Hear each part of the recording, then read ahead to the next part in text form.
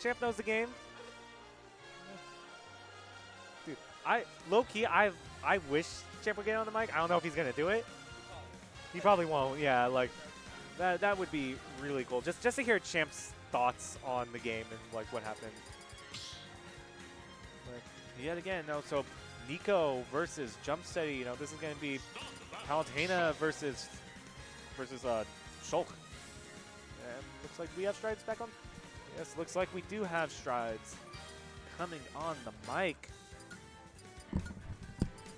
Oh, how's it going, strides? Hey, I didn't expect to be here. Ah, I was uh, packing up everything. But um, Right. so who's this guy? Dark Paladin 420. Wow, never seen this guy before. yeah, totally new face. Just been blowing everybody out of the water. Made it all the way to uh, losers finals. You know, Dark Paladin 420 um, actually lost really early in uh, winner's side of pools. So he's like been going through these bracket pretty much the entire tournament. Just because he decided to play Falcon against uh, YMCA's DK. Oh, Didn't work out. yeah. kind of funny how it works out. He's like, okay, now that I lost, I'm gonna go my actual main. You know what? No, I, no, what was it was just going to loser bracket to grind out all those matches. Yeah, that, get all those PR why. wins uh, at the bottom when everybody's down there, and be like, hey, that, that's just more matches for me to win. Yeah, that that's. So it, the person I think that has the highest chance of being Nicko's Shulk in this tournament is actually Jump, just because he's beaten him before, I believe, and he's uh he practices him the most, because they're both like in the same area. So uh, I, I wouldn't be surprised if Jump won this, but it's I mean, be hard. Yeah, I mean, looks like Nicko kind of learning from his practice session. You know, practice is fine and all, but this is tournament. This is Yeah. where the money is and where the money really counts. So, yet again, will Nicko really pull out all the stops here against his uh, training partner here? Yeah, it's uh, it'll be interesting to see for sure. Like, it, it kind of goes both ways. Like Jump has a high chance of beating Nicko because he plays them a lot, but the same thing can be said for uh, Nicko. Oh my goodness. Ooh, I love that. Just super deep fair, knowing that like you know what, I can get this. If it hits him, he dies. If it doesn't, then like I'll still make it back. But Yeah. yet again, super greedy up smash right there, and Nicko's just gonna hold on to shield and just punish him for it. I wonder if Nicko had enough time to go for vision since he was charging that long. It probably wouldn't have killed at all, like at low percent, but decent amount of damage. I mean, it was Oh. still damage either way. It's not a bad punish. But yet again, you don't want to go for the counter and then eat like a fully charged like yeah, smash yeah, exactly, exactly. Because you can charge smash attack so long. But uh, finally getting this stock off. This is looking really rough. Like once Nicko gets to advantage, he just does so much percent. He's just really good at reading people's defensive options. Like first he gets like the guarantee hits with choke, then he just kind of waits and see what you do after, and then he just goes from there. I definitely think Nicko's like greatest strength is going for those edge guards. You know, you see him going like so deep, knowing that like, hey, I know you're gonna want to be in this zone here. Let me throw out a fair. If it clips you, great, you're dead. If it doesn't, then like, no worries. I can just get you back on the ledge and just reset you neutral and get the ledge guard option and then throw you back off stage and we play the guessing game one more time. Yeah, it's really hard to go from like the lower corner to recover to the ledge against this character, and Nicko just abused it really well. Probably could have gone on fair him there too. It's so fast. Like jump Yeah. is literally he can't necessarily just like react, so he's just waiting while he's in speed art for him to do anything. Oh, Oh, he wanted that grab right there, and that would have been death. But yet again, nice smash shard, but yet again, that will be the stock. And no, Jump Steady 157%. This is kill percent for him, but you know what? Can he uh, gain out the stock in time, or will Nicko just find that one straight hit he needs to finish off game one? yeah, this comeback's gonna be kind of rough. Like Nicko, Nicko has to lose this hit so many more times for uh, him to lose this instead of Gemstone. But I he's mean- doing a good job bringing it back right now. I mean, yet again, at the ledge at least. Yeah. He hasn't gotten hit in a while. No, Nicko Nice is just throwing out all these moves. You know, I feel like it's starting to almost be a reverse situation where we had where Jump Steady was kind of throwing out the move and Nice. Nicko punishing him for it. And then just like that, it's Nice, even up Yep, already. Said he won neutral all the times that I said. So now he actually has a chance of winning this.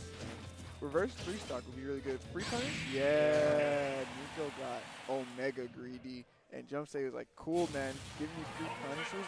Take that.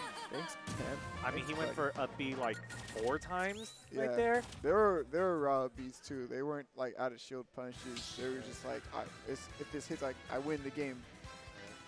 So getting really impatient, going at three stock lead pretty much, and uh, Jump Steady coming all the way back. I mean, we'll, we'll definitely take that. You got the names mixed up, by the way. Yeah, It's uh, Jump Steady on the the left. left. Yeah. Yeah, it's fine though. We'll, we'll fix it. Yeah, we'll fix it. Fake it Anyway. till you make it. So, Jump Steady, amazing comeback, game one. See if he can uh, do it again. Rather, not even have to rely on the comeback, just uh, play really solid like he did that last match the entire uh, of his three stocks here. Yet again, no, I love what he's doing with all this spacing of the aerials, and you know, Jump Steady is just really having a hard time getting in. And I feel like that's the upbeat that he wanted, like all that first game, but just wasn't waiting for Jump Steady to throw out a laggy enough move to actually utilize it. Yeah, yeah, exactly. Yeah, I do know that uh, Nicko actually has struggled in this matchup a lot in the past. Uh, not necessarily against Jump Steady, but like against Nairo, he had a really rough time. The, the brothers like Pocket Palutena, he had a little bit of an issue as well. So this character just tends to do really well against the way Nicko likes to play in the first place. I mean, definitely a lot of Palutena things are just like out neutraling you, out spacing you, and you know just kind of punishing you for that. And Nicko really likes to go super aggressive with all of his aerials. So if you're gonna get out spaced out in neutral, you know it's gonna be really hard for you to kind of like jump in the air and find that aerial that you really want to do with Yeah. the space properly. Because if you don't space it properly, you're gonna get punished super hard. Yeah, I definitely agree with that. Jump Steady though, a good spot on the stage. Try to wait Nicko out, see if he can get these grabs, throw him off the stage, you know, set the edge guard. Nicko, I think he recognized that as well though, so he's not making it easy to get punished. Oh, nice. Lands up in Gaussman. Okay, we're right into shield immediately into shield as soon as he gets thrown off the stage.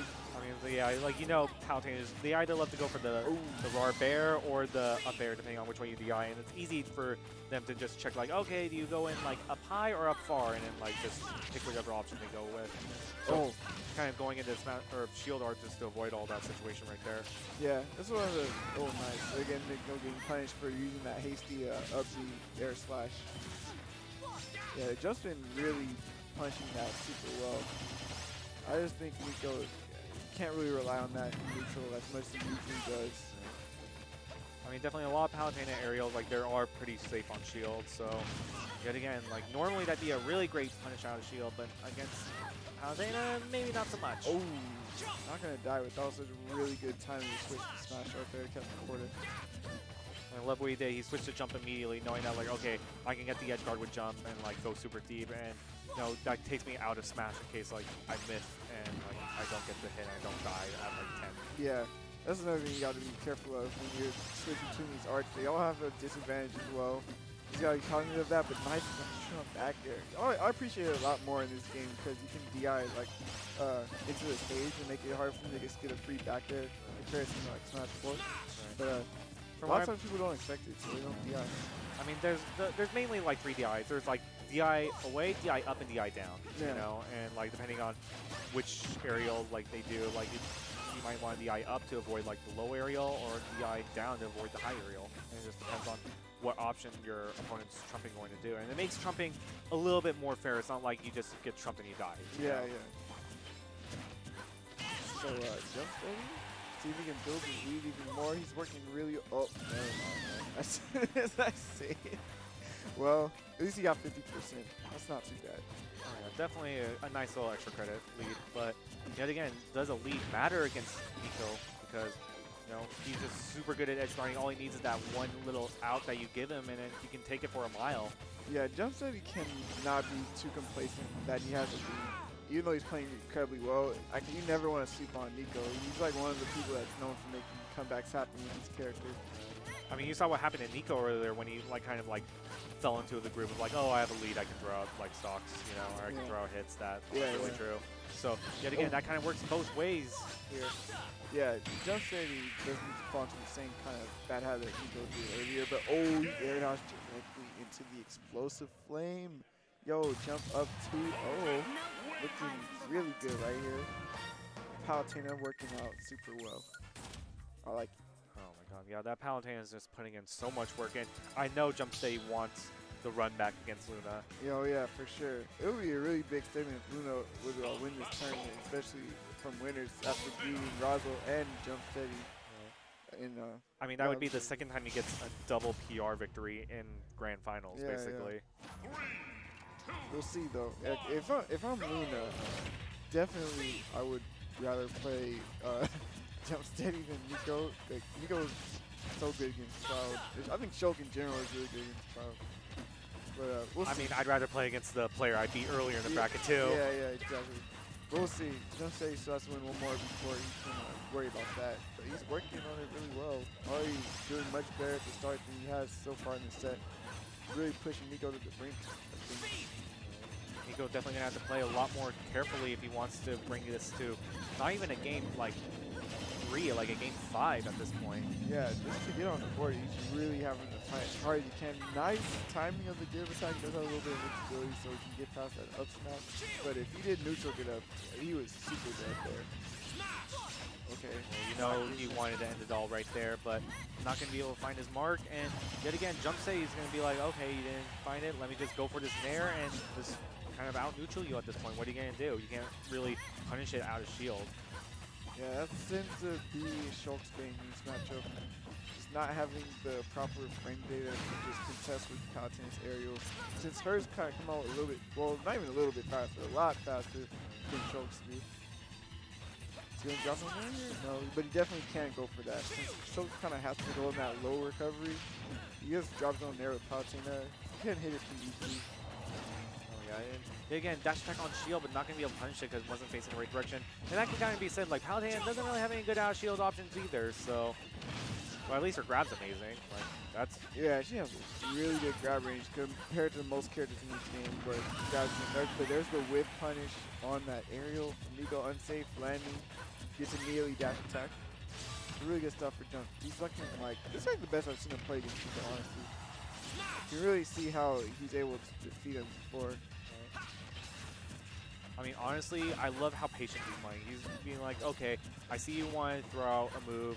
You're in Smash. I don't want to throw out anything that's going to get intercepted midway. So let me just kind of time you out of the Smash art, and then like we can play a different game.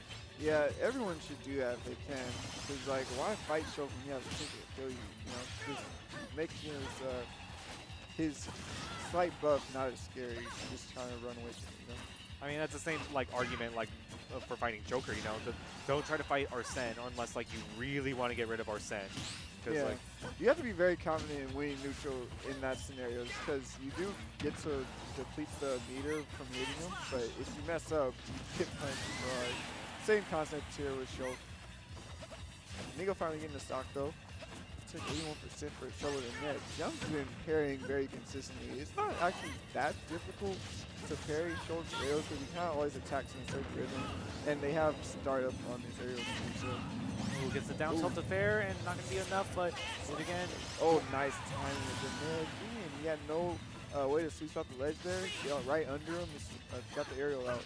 Really good timing from Jump Steady, just showing that he really knows how to fight this character. oh yeah. Yeah, that's what happens when you practice with Nicko. and uh, run into him like almost every week, you know? Right. Yeah, again, gets the grab off of the roll, and you know Nicko's really bleeding here. You know he's been lapped in percent. He really needs to make a comeback he wants to just get one on the board at this point. Yeah, but is just shutting them out like almost every time. Here we go. Not going to be able to find it, and yet again, Jump Say just kind of like sitting back in neutral, waiting for Nicko to kind of like press a button and then punishing him for it. Yep. Very good stuff from Jump Steady. Nice. Gets the unsafe recovery. Gonna get another one. Nice punish, but we still living from the other side of the screen. He's another one. Jump Steady's up Bs have been very bad though. He's yeah, at that time he just died. Like, I he mean, missed he- the ledge like almost four times. Yeah, and he drifted like super far back to avoid the, the fair controls. And Yet again, like, yeah, you can avoid the fair, but like you drift too far back. Like Palutena has distance on her recovery, not the best in the world. So, yet again, 142. Shulk Yeah, can this make this back, but like, This one's gonna be so difficult. Okay, then he gets left trump. Oh, brilliant power shield on the Buster. It does more shield stun too because that. But uh, the parry just kind of gets that though. here we go. Shield, no. As long as he can beat out the shield, no. I feel like he can just take the game at this point. But Oh, not if he gets this Hold edge up. guard. Yeah, Oh, yeah, yeah. my God. Going for the win condition for sure. Yeah, switching to smash, I going for the deep forward off stage. It kills really early, but the dash attack from deep. Another really solid whip punch. Oh,